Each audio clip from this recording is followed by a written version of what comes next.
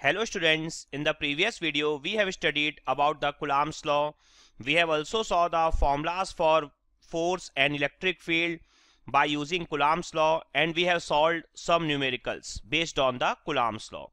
Now in this video I will start with the Gauss law that is also called Maxwell first equation. Okay, so what is Gauss law? क्या होता है आपका Gauss law क्या state करता है Gauss law so Gauss law state करता है कि total electric flux through any closed surface is equal to the total charge enclosed by that surface okay that means suppose करिए आप मेरे पास एक क्लोज्ड सरफेस है ओके okay? यहाँ पर टोटल चार्ज इनक्लोज्ड है प्लस क्यू ओके एंड तो आपका बोल रहा है कि जो टोटल फ्लक्स लीव करेगा इस क्लोज्ड सरफेस से वो इक्वल होगा total charge enclosed by that closed surface इसकी मीनिंग क्या है? कि d डॉट डी एस ठीक है ना? Close integral close surface integral of d dot D S is equal to Q ये कहता है आपका गॉस लॉ मैथमेटिकली और थ्योरिकली मैंने आपको बता दिया कि टोटल चार्ज इनक्लोज्ड जो होगा वही आपका देगा total electric field living through that close surface okay clear है अच्छे से? अब यहाँ पर आप ध्यान से देखिए, ये जो d डॉट डी है close surface integral equal to Q है तो ये आपका d क्या होता है? सबसे पहले हम इसे अंडरस्टैंड कर लेते हैं। मैं आपको फ़र्स्ट वीडियो में बता भी चुका हूँ कि d is called electric flux density okay तो d होता है हमारा इलेक्ट्रिक फ्लक्स डेंसिटी इसकी यूनिट भी आपको मैं बता चुका हूँ फ़र्स्ट वीडियो में। इसकी यूनिट आपकी होती है कुलाम पर मीटर स्क्वायर ओके और ds की यूनिट क्या होती है आपकी? ds की यूनिट होती है आपकी मीटर स्क्वायर तो आप देख सकते हैं डी डॉट डी किसके इक्वल होगा आपका? चार्ज के इक्वल ही होगा, कुलाम के इक्वल ही होगा, ठीक है यूनिट वाइज तो इस फॉर्मूले का भी हम लोग और एनालिसिस करेंगे, लेकिन उससे पहले हमें यह क्लियर करना होगा कि व्हाट इज़ फ्लक्स ठीक है ना? इस वर्ड फ्लक्स से हम लोग क्या समझते हैं? ठीक है? तो जो फ्लक्स है आपका, वो है अट्रैक्टिव और repulsive force okay flux is attractive और रिपल्सिव फोर्स ठीक है? On any test charge which is placed in the electric field okay flux जो है आपका अट्रैक्टिव और रिपल्सिव फोर्स है on any test charge which is placed in the electric field actual में ये क्या शो करता है? एक्चुअल में ये ये शो करता है कि जब भी आपका टेस्ट चार्ज जो होगा इलेक्ट्रिक फ़ील्ड में होगा, तब वो किस डायरेक्शन में मूव करने की कोशिश करता है। ठीक है ना? क्लियर है पॉइंट अच्छे से? Means flux represents the direction in which the test charge moves away when placed in the electric field clear अच्छे से पॉइंट तो ये होता है आपका फ्लक्स बेसिकली आप कह सकते हैं अट्रैक्टिव और रिपल्सिव फोर्स ओके नाउ मैं वापस से आपके फॉर्मूले पर आता हूँ गॉस लॉ के मैथमेटिकल फॉर्मूले पे. D dot D S is equal to Q is equal to total flux okay यही होता है आपका गॉस लॉ ओके तो यहाँ पर होता क्या है बेसिकली जब आपकी सरफेस जो है वो क्लोज होती है ना तो जो आपका टोटल आउटफ्लो है और फ्लक्स लिविंग है, वो आपका इंडिपेंडेंट होता है डेंसिटी और एरिया से ओके okay? और सिंपली वो क्या हो जाता है आपका d dot D S equal to Q okay but यहाँ पर कुछ कंडीशंस हैं, जैसे सपोज़ करिए कि जो आपका चार्ज है, ठीक है? वो आपका क्लोज्ड सरफेस के आउटसाइड है ओके क्लियर है पॉइंट अच्छे से तो इस केस में जो डी डॉट डी एस होगा, वो आपका होगा इक्वल टू ज़ीरो ठीक है? वो आपका अब टोटल फ्लक्स के इक्वल नहीं होगा क्लियर है अच्छे से? नाउ एक और पॉइंट है, अगर आपकी सरफेस क्लोज्ड नहीं है, ठीक है ना? सपोज़ करिए आपकी सरफेस कुछ इस तरीके से है, वो सरफेस आपकी क्लोज नहीं है, ठीक है? तो उस केस में आपका जो फ्लक्स होगा, ठीक है? जो फ्लक्स होगा, वो आपका टोटल फ्लक्स नहीं होगा। दैट मींस जो लॉ होगा, वो आपका गॉस लॉ नहीं होगा। क्लियर है? तो इस केस में आप इस तरीके से लिखते हैं D dot D S is equal to flux okay but it is not a total flux clear है अच्छे से? क्योंकि ये सरफेस आपकी जो है, वो क्लोज्ड नहीं है। ये आपका गॉस लॉ नहीं होगा, जब आपकी सरफेस क्लोज नहीं होगी। ठीक है? तो मैं यहाँ पर क्या कर रहा हूँ? इसे मैं दे रहा हूँ केस वन। ओके, ये वाला जो फिगर हमने देखा, जहाँ पर आपका चार्ज आउटसाइड था, और इसे मैं दे रहा हूँ आपका केस टू, ठीक है? जहाँ पर आपकी जो सरफेस है वो क्लोज्ड नहीं है, ठीक है ना? क्लियर है अच्छे से तो ये आपका फ्लक्स इस तरीके से होगा, ठीक है? क्लियर अच्छे से। तो ये केसेस आपको दिमाग में रखने हैं कि this is not the Gauss law ठीक है? ये आपका गॉस लॉ नहीं होगा। तो गॉस लॉ आपका सिर्फ़ और सिर्फ़ तभी होगा जब आपकी सरफेस क्लोज होगी और जो टोटल फ्लक्स लीव होगा उस क्लोज सरफेस से वो ऑलवेज इक्वल होगा total charge enclose in that close surface okay तो ये होता है आपका गॉस लॉ। नाउ यहाँ पर मैं अगर इस मैथमेटिकल इक्वेशन को फिर से लिखूं गॉस लॉ के तो d dot D S equal to Q हम लोगों ने लास्ट क्लासेस में एक थ्योरम पढ़ा था, जब हम लोगों ने डाइवर्जेंस स्टडी किया था। That is called divergence theorem वो थ्योरम क्या था आपका? कि कोई वेक्टर ए का अगर आप क्लोज सरफेस इंटीग्रल लेते हैं तो वो ऑलवेज इक्वल होता है डाइवर्जेंस ऑफ़ ए के वॉल्यूम इंटीग्रल के। ओके तो यहाँ पर वेक्टर ए की जगह क्या है आपका? वेक्टर डी है। ठीक है? तो इसे हम क्या लिख सकते हैं? देखिए आप। इसे हम लिख सकते हैं D dot D S okay जो आपको ऑलरेडी है यहाँ पर, ठीक है? वो किसके इक्वल हो जाएगा? Del dot D D V okay तो ये हम लोगों ने कैसे लिखा? ये हम लोगों ने लिखा यूजिंग डाइवर्जेंस थ्योरम क्लियर है अच्छे से? तो यहाँ पर एक और पॉइंट है जो आपको अभी अंडरस्टैंड करना है इस गॉस लॉ में। वो क्या है? ध्यान से समझिएगा। ये, इसे मैं इक्वेशन नंबर टू दे देता हूँ, इसे मैं इक्वेशन नंबर वन दे देता हूँ। अब आप ध्यान से समझिएगा एक पॉइंट जो आपका चार्ज क्यू होता है ना, जो क्लोज सरफेस पे आपका जो चार्ज क्यू आप लेके चल रहे हैं, उसे आप एक और तरीके से रिप्रेजेंट कर सकते हैं rho V D V means rho V का वॉल्यूम इंटीग्रल अब ये रो वी क्या होता है? अभी तक हम लोगों ने स्टडी नहीं किया है कि ये रोवी है क्या।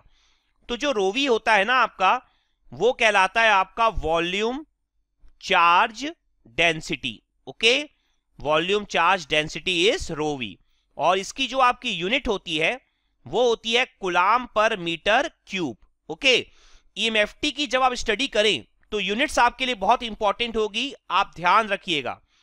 अब आप देखिए रोवी की यूनिट होती है coulomb per metre cube D V की यूनिट होती है metre cube. Metre cube metre cube cancel बचा क्या आपका? कुलाम, जो कि यूनिट होती है आपकी चार्ज की ओके तो इस इक्वेशन को मैं दे रहा हूँ equation number three okay clear है अच्छे से? तो अब आप देखिए वन और टू में, दोनों जगह आपका डी डॉट डी एस है। ठीक है? इक्वल में क्या क्या है? क्यू इक्वल में क्या है यहाँ पर? डेल डॉट डीवी तो इसका मतलब क्या है? Integration of del dot D V is equal to Q होगा।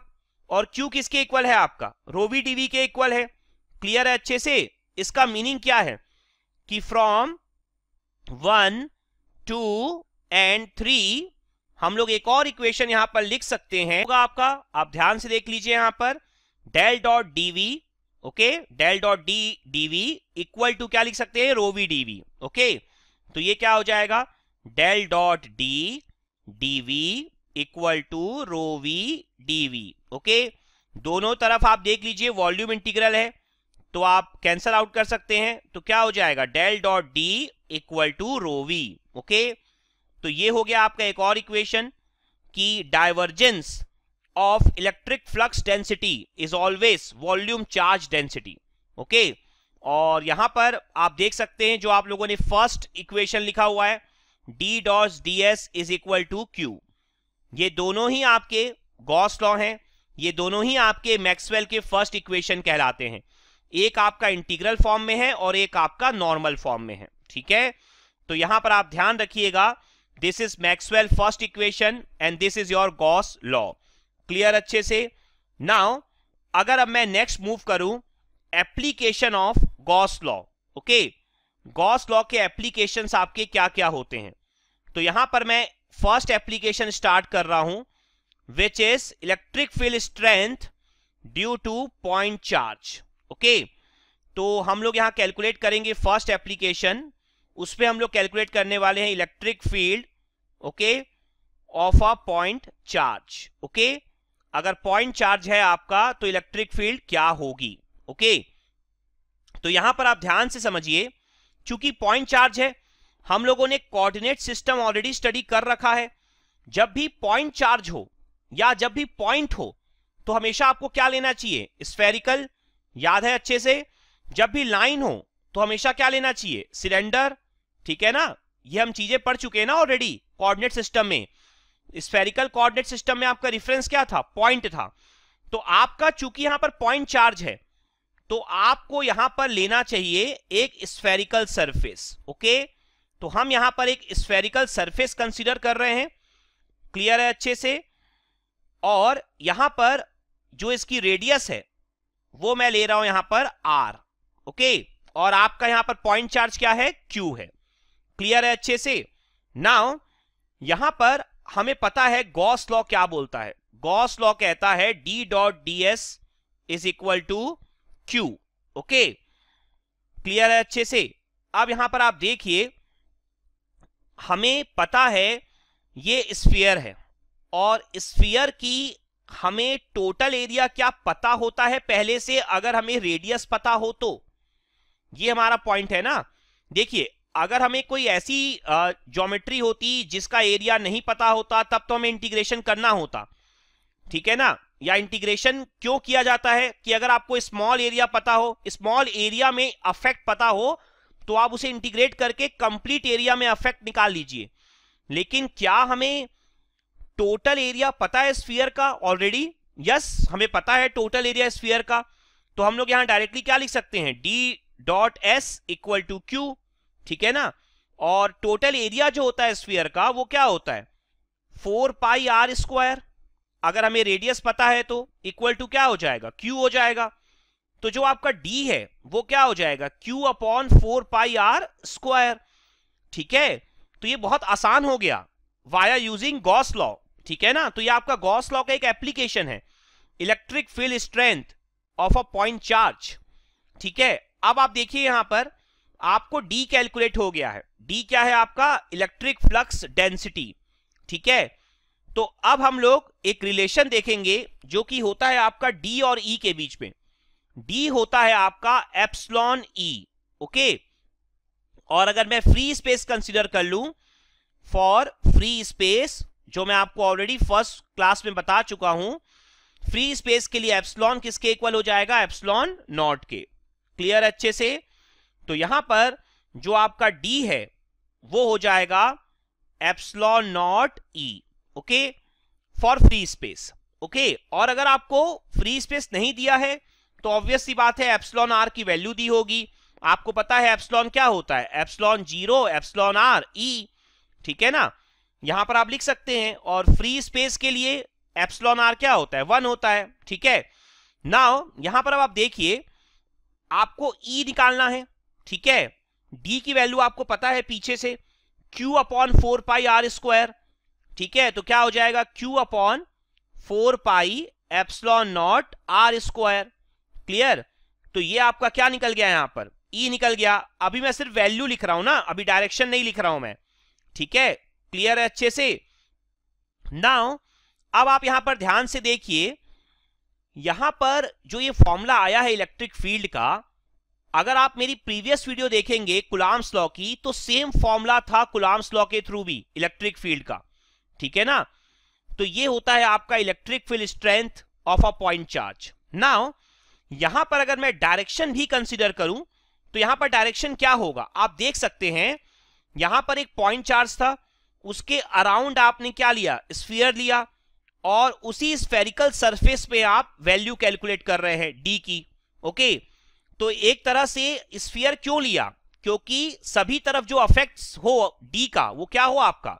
सेम हो, ठीक है ना?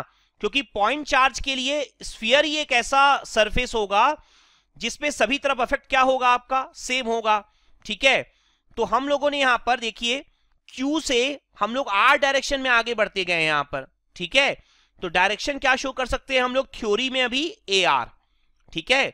न्यूमेरिकल में हम न्यूमेरिकल के हिसाब से वैल्यू कैलकुलेट करेंगे। लेकिन अभी हम क्या शो कर सकते हैं? ए आर तो जो ई e का डायरेक्शन होगा, वो भी क्या होगा आपका? ए आर हो जाएगा। क्लियर है अच्छे से? नाउ ये होता है आपका first application okay next application हम लोग नेक्स्ट वीडियो में देखेंगे एप्लीकेशन ऑफ़ गॉस लॉ जो अगले एप्लीकेशन है हमारे। पर पहले इस वीडियो में हम कुछ न्यूमेरिकल सॉल्व कर लेते हैं ओके जो अभी तक हमने पढ़ा है उसके बेस पर। तो आपका जो फ़र्स्ट न्यूमेरिकल है यहाँ पर, वो ये कह रहा है आपसे कि आपको थ्री पॉइंट चार्जेस गिवन है okay three point charges okay क्या क्या वैल्यूज़ है उन पॉइंट चार्जेस की? Ten coulomb six coulomb and minus four coulomb okay? कहाँ कहाँ लोकेटेड हैं? वो भी आपको दिया हुआ है पॉइंट पॉइंट्स आपको दिए हुए हैं। Two, comma one, comma three, okay? Second point दिया है। Three, comma one, comma minus three, and third point आपको दिया हुआ है। Seven, comma four, comma zero, okay? और आपसे पूछ क्या रहा है? Find the flux leaving the surface और सरफेस आपको दी हुई है। सरफेस आपको दी हुई है यहाँ पर minus six to X comma Y comma Z to plus six okay इस नोटेशन का क्या मीनिंग होता है ये भी मैं आपको क्लियर कर देता हूँ। मीन्स इसका मतलब है एक्स भी आपका माइनस सिक्स से प्लस सिक्स है वाई भी आपका माइनस सिक्स से प्लस सिक्स है और जो आपका जेड है, वो भी आपका माइनस सिक्स से प्लस सिक्स है। ये मीनिंग होती है इस नोटेशन की। क्लियर है अच्छे से? अब आप यहाँ पर देखिए, आपको क्या कह रहा है? मैं क्वेश्चन आपको फिर से रिपीट कर देता हूँ। थ्री पॉइंट चार्जेस आपको गिवन है। Ten coulomb six coulomb and minus four coulomb और वो आपके कहाँ कहाँ प्रेजेंट है, ये भी आपको गिवन है। ठीक है? उनकी लोकेशन उनके कोऑर्डिनेट्स आपको गिवन है। और यहाँ पर आपको सरफेस गिवन है और आपको बताना है find the flux leaving the surface minus six to plus six now यहाँ पर अगर मैं इसका सॉल्यूशन पार्ट देखूँ तो आप ध्यान से समझिएगा गॉस लॉ में हमने क्या पढ़ा है? गॉस लॉ में हम लोगों ने पढ़ा है total flux leaving through any closed surface is equal to the total charge enclose by that surface तो यहाँ पर समझिए, आपकी जो सरफेस है उसकी जो मैक्सिमम वैल्यू है वो प्लस सिक्स है मिनिमम वैल्यू माइनस सिक्स है। तो ऑब्वियस सी बात है, ये जो सेवन वाला पॉइंट है ना, ये आउटसाइड हो जाएगा। ठीक है ना? ये जो आपका एक्स कोऑर्डिनेट है सेवन वो आउटसाइड हो जाएगा इस सरफेस के। तो वो तो इस सरफेस के अंदर लाई नहीं करेगा। मतलब माइनस फोर कुलाम वाला चार्ज जो है, वो इस सरफेस के अंदर लाई नहीं करेगा। बट देखिए two comma one comma three and three comma one comma minus three ये दोनों के दोनों आपके सरफेस के अंदर लाई करेंगे ओके तो जो आपका टोटल फ्लक्स है, वो कितना हो जाएगा आपका? वो हो जाएगा ten plus six sixteen coulomb okay clear है अच्छे से? नाउ एक और क्वेश्चन मैं आपके लिए लेता हूँ कॉन्सेप्ट को अंडरस्टैंड करवाने के लिए। सपोज़ करिए, आपके यहाँ पर फिर से थ्री पॉइंट चार्जेस गिवन है ओके और उनकी वैल्यूज़ भी आपको गिवन है यहाँ पर। Six coulomb five coulomb and minus three coulomb okay? और आपको यहाँ पर उनके लोकेशंस गिवन है। Three, comma one, comma five, okay? एक लोकेशन आपको गिवन है, three, comma one, comma minus three, और एक लोकेशन आपको गिवन है, seven, comma four, comma zero, okay? यहाँ पर अब आपको निकालने के लिए कहा गया है कि सबसे पहले आपको एक सरफेस गिवन है और वो सरफेस जो है वो स्फेरिकल सरफेस है। ओके तो आपको टोटल फ्लक्स निकालना है leaving through that spherical surface और वो जो स्फेरिकल सरफेस आपको दी हुई है ना, उसकी जो रेडियस है, वो आपको गिवन है यहाँ पर सिक्स मीटर ओके और उसका जो सेंटर है स्फेरिकल सरफेस का, वो क्या है आपका ओरिजिन है। क्लियर है पॉइंट अच्छे से? तो यहाँ पर आपको एक स्फेरिकल सरफेस दी हुई है, जिसका सेंटर ओरिजिन है और जिसकी रेडियस जो है वो सिक्स मीटर है। और आपको बताना है कि इस स्फेरिकल सरफेस से टोटल फ्लक्स कितना लीव हो रहा है। क्लियर है अच्छे से? ना यहाँ पर आप ध्यान से समझिए, आपको तीन पॉइंट चार्जेस गिवन है और आप फ्लक्स तभी ऐड कर सकते हैं या पॉइंट चार्जेस की वैल्यूज़ को तभी ऐड कर सकते हैं जब वो पॉइंट चार्जेस उस सरफेस के अंदर हो, उस क्लोज्ड सरफेस के अंदर हो तो आप क्या कर सकते हैं? चूँकि स्फेरिकल सरफेस है ना तो आप क्या करिए? आप डिस्टेंस कैलकुलेट करिए, ठीक है ना? सेंटर से लेकर सेंटर से लेकर हर एक पॉइंट की डिस्टेंस कैलकुलेट करिए। अगर वो डिस्टेंस रेडियस से बड़ी हो जाती है, ठीक है? तो ऑब्वियस सी बात है, जो आपका पॉइंट है, वो आउटसाइड लाई करेगा स्फीयर के मतलब आपका जो चार्ज है वो आउटसाइड होगा और अगर वो जो डिस्टेंस है, वो रेडियस से लेस होती है तो वो जो पॉइंट है, वो इनसाइड लाई करेगा स्फीयर के। क्लियर जैसे सपोज़ करिए, मैं अपने सेंटर को डिनोट कर रहा हूँ यहाँ पर ओ से। ओ कितना है? Zero comma zero comma zero और जो आपका फ़र्स्ट चार्ज है फ़र्स्ट चार्ज आपका किस कोऑर्डिनेट पर है? Three comma one comma five तो आप क्या करिए, इन दोनों पॉइंट्स के बीच डिस्टेंस कैलकुलेट कर लीजिए, ठीक है? तो ये जो डिस्टेंस हो जाएगी आपकी, वो कितनी हो जाएगी? क्योंकि ये सारे ज़ीरो हैं तो क्या हो जाएगा? हमको पता है ना डिस्टेंस क्या होती है? Z two minus Z one का whole square plus Y two minus Y one का whole square plus X two minus X one का होल स्क्वायर का क्या होता है आपका? अंडर रूट मैं आपको ऑलरेडी जब वेक्टर सिखाया था बेसिक्स ऑफ़ वेक्टर तो ये आपको सिखा चुका हूँ। तो ये कितना हो जाएगा? सारे ज़ीरो हैं। तो थ्री का स्क्वायर प्लस वन का स्क्वायर प्लस फाइव का स्क्वायर ठीक है? इसे हम कैलकुलेट कर लेते हैं। कितना हो गया? Nine plus one plus twenty five okay और इसका अंडर रूट निकाल लेते हैं। ये आपका आ रहा है five point nine one okay तो ये पॉइंट तो भाई लाई करेगा inside the circle inside the sphere okay clear है अच्छे से? क्योंकि ये आपका रेडियस से लेस है। सिक्स मीटर से आपका लेस है। Clear now next point next point फिर से आपको O zero comma zero comma zero और नेक्स्ट चार्ज आपका कहाँ पर है? Three comma one comma minus three फिर से हम डिस्टेंस निकाल लेते हैं यहाँ पर। डिस्टेंस क्या हो जाएगी? थ्री का स्क्वायर प्लस वन का स्क्वायर प्लस माइनस थ्री का स्क्वायर ओके तो यहाँ पर क्या हो जाएगा? Nine plus one plus nine का अंडर रूट ये आपका आ रहा है फोर पॉइंट थ्री फाइव। ये भी आपकी जो डिस्टेंस आई है, वो रेडियस की वैल्यू से क्या है आपकी? लेस है। इसका मतलब सेकेंड चार्ज भी आपका इनसाइड द स्फीयर ही होगा। ठीक है? नाउ लास्ट के लिए कैलकुलेट करते हैं हम लोग। O zero comma zero comma zero seven comma four comma zero तो डिस्टेंस निकाल लीजिए फिर से आप। सेवन का स्क्वायर प्लस फोर का स्क्वायर प्लस ज़ीरो का स्क्वायर, कितना हो जाएगा? फोर्टी नाइन प्लस सिक्सटीन का अंडर रूट। ये आपका आ रहा है एट पॉइंट ज़ीरो सिक्स। ये आपकी वैल्यू जो है, वो रेडियस जो कि आपकी क्या थी? सिक्स थी, उससे ग्रेटर है। इसका मतलब थर्ड वाला जो चार्ज है, वो आउटसाइड द स्फीयर होगा, आउटसाइड द क्लोज सरफेस होगा। तो हमें पता है गॉस लॉ से जो आपका टोटल फ्लक्स होता है, वो क्या होता है आपका? जो चार्जेस आपके इनसाइड द क्लोज सरफेस हैं, उनका एडिशन तो कौन कौन से चार्ज हैं आपके? एक है आपका सिक्स वाला और एक है आपका फाइव वाला.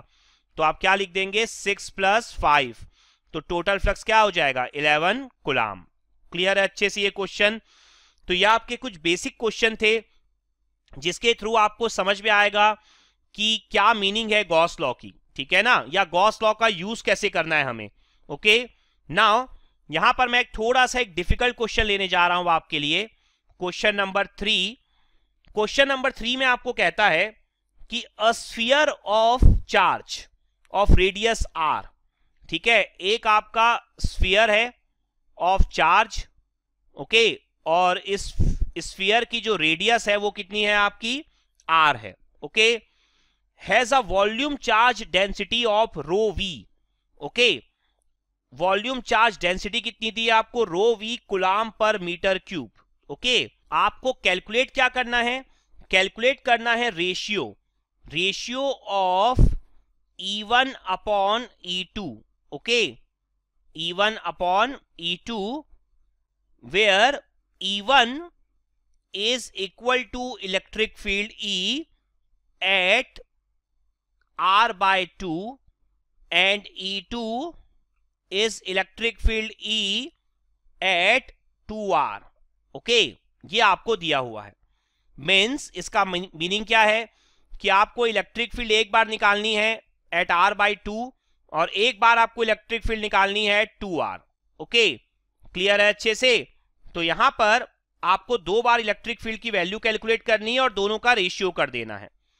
तो अगर मैं यहाँ पर सॉल्यूशन पार्ट में जाऊँ, अब आप हमेशा ध्यान रखिए एक पॉइंट को, ठीक है? कि आप कोशिश करिए गॉस लॉ अप्लाई करने की बहुत सारे क्वेश्चन में जहाँ आपको इलेक्ट्रिक फ़ील्ड की वैल्यू या इलेक्ट्रिक फ्लक्स डेंसिटी की वैल्यू कैलकुलेट करने के लिए कहा गया है। तो अगर मैं यहाँ पर गॉस लॉ के बारे में सोचूं, ठीक है? तो सबसे पहले मैं क्या करता हूँ? इवन वाला केस ले लेता हूँ, जो केस वन है मेरा, जिसपे मुझे इवन कैलकुलेट करना है। तो यहाँ पर आप देख सकते हैं कि जो आपको पॉइंट दिया है, या जो आपको वैल्यू दी हुई है रेडियस की, वो आर बाई टू दी हुई है। ठीक है ना? मतलब आपको आर बाई टू पर कैलकुलेट करना है इवन जो कि ऑब्वियस सी बात है आर से क्या है आपका? लेस है। तो आप लिख सकते हैं R by two is less than R ठीक है? अब आप यहाँ पर अगर गॉस लॉ का यूज़ करें तो D dot S equal to क्या होता है? क्यू क्लियर है ना? मैंने टोटल एरिया ले लिया। तो आपका इंटीग्रेशन क्या होगा? रिमूव हो जाएगा। क्योंकि मुझे टोटल एरिया पता है ना यहाँ पर। स्फीयर दिया हुआ है हमें। कोई प्रॉब्लम नहीं है हमें। ठीक है? तो जो आपका डी है, वो क्या हो जाएगा आपका? क्यू अपॉन एस ठीक है ना? चार्ज अपॉन एरिया अब आप यहाँ पर ध्यान से समझिए एक पॉइंट को। आपको यहाँ पर चार्ज कैलकुलेट करना है और क्वेश्चन में आपको वॉल्यूम चार्ज डेंसिटी दी है। ठीक है? अभी अभी हमने पढ़ा था, वॉल्यूम चार्ज डेंसिटी का वॉल्यूम इंटीग्रल क्या होता है? चार्ज होता है। तो यहाँ पर चार्ज को क्या लिख सकते हैं? Rho v coulomb per metre cube into volume. Total volume हमें पता है ना स्फीयर का, कोई प्रॉब्लम ही नहीं है। ठीक है? तो जो टोटल वॉल्यूम आप लिखने वाले हैं, वो आप क्या लिखने वाले हैं? ये यहाँ पर आपके लिए इंपॉर्टेंट पॉइंट होगा। देखिए, आपको चूँकि आर बाई टू पर कैलकुलेट करना है ना तो आप आर बाई टू ही लेंगे रेडियस की वैल्यू उसमें कोई पॉइंट ही नहीं होना चाहिए आपके लिए।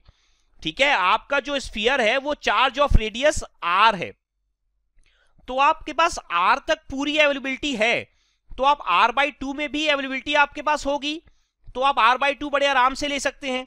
ठीक है ना? आर तक फैला हुआ है, लेकिन आपको कहाँ तक लेना है? सिर्फ़ आर बाय टू तक। तो ये कितना हो जाएगा? वॉल्यूम क्या होता है? Four by three pi R by two का होल क्यूब ठीक है?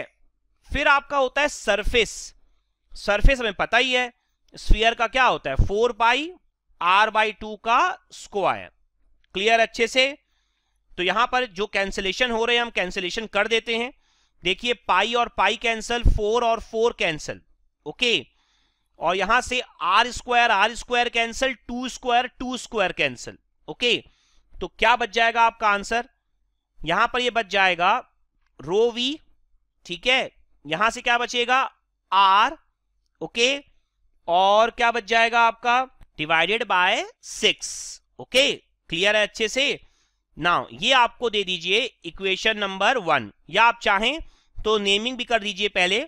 ये आपका डी वन कर दीजिए इसे ओके और ये आपका क्या हो जाएगा? डी वन आपको चूँकि E one upon E two का रेशियो बोला है तो आप चाहे तो यहाँ से ई वन भी कैलकुलेट कर सकते हैं। ई वन क्या हो जाएगा आपका?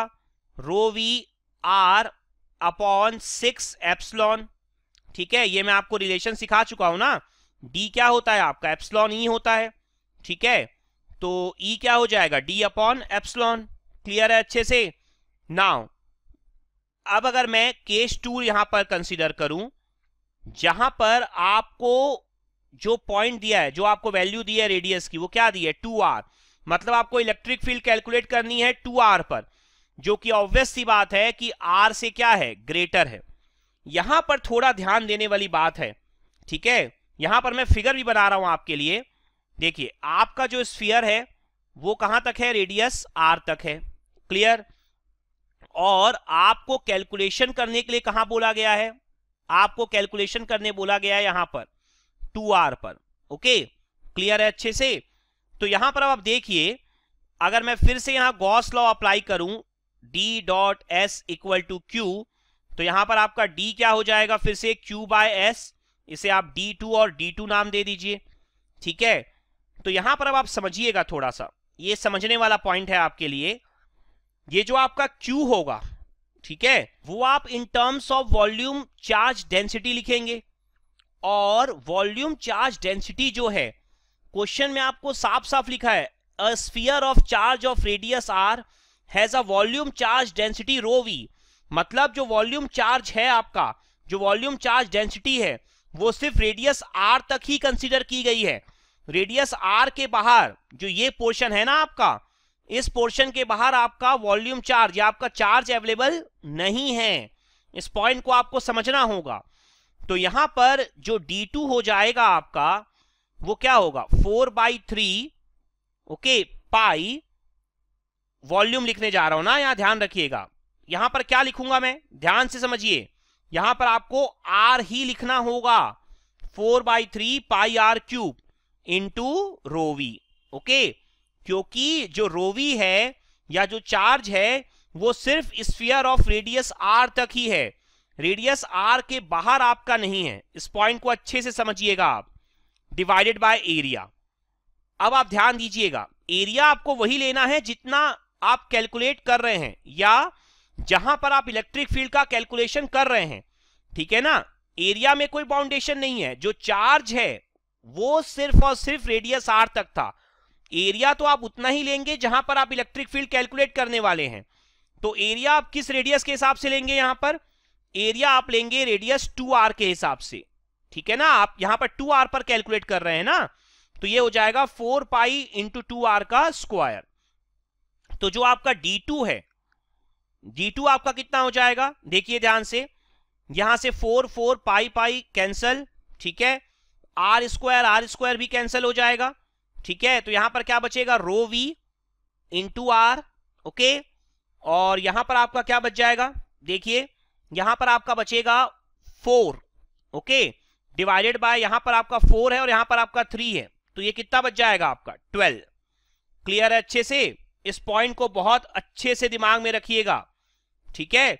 नाउ यहाँ पर D2 आ गया। सिंपली अब हम क्या निकाल सकते हैं? E2 क्या हो जाएगा? Rho v R upon twelve epsilon equation number two अब अगर मैं यहाँ से कैलकुलेट करने जाऊँ equation one divided by equation two तो ये निकल जाएगा आपका E one upon E two, जो कि आपको कैलकुलेट करने के लिए कहा गया है।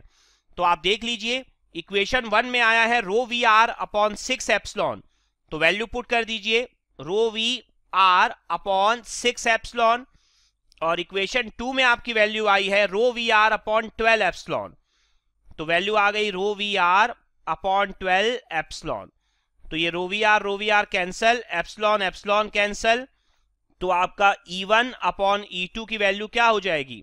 टू अपॉन वन ओके तो यहाँ से आपका कैलकुलेट हो गया E one upon E two तो ये काफ़ी अच्छा क्वेश्चन था आपके लिए अंडरस्टैंडिंग के लिए गॉस लॉ की, और आपको ये भी यहाँ पर अंडरस्टैंड हुआ कि जहाँ तक चार्ज अवेलेबल है, आप वहीं तक ही लिख सकते हैं चार्ज की वैल्यू क्यू की वैल्यू आप उसी रेडियस तक लिखेंगे जहाँ तक वो अवेलेबल है। लेकिन एरिया आपको वही लेना है जहाँ पर आप कैलकुलेशन कर रहे हैं।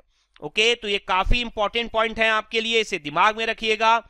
ठीक है तो ये आपका वीडियो मैं यहाँ पर फिनिश करने जा रहा हूँ। गॉस लॉ हमने सीखा इस वीडियो में, और ये भी सीखा इस वीडियो में कि गॉस लॉ का फ़र्स्ट एप्लीकेशन क्या है। आने वाली वीडियो में हम गॉस लॉ के नेक्स्ट एप्लीकेशन देखेंगे। अगर आपको इस वीडियो में कहीं भी डाउट हो तो कमेंट सेक्शन में ज़रूर पोस्ट करिएगा। Okay thank you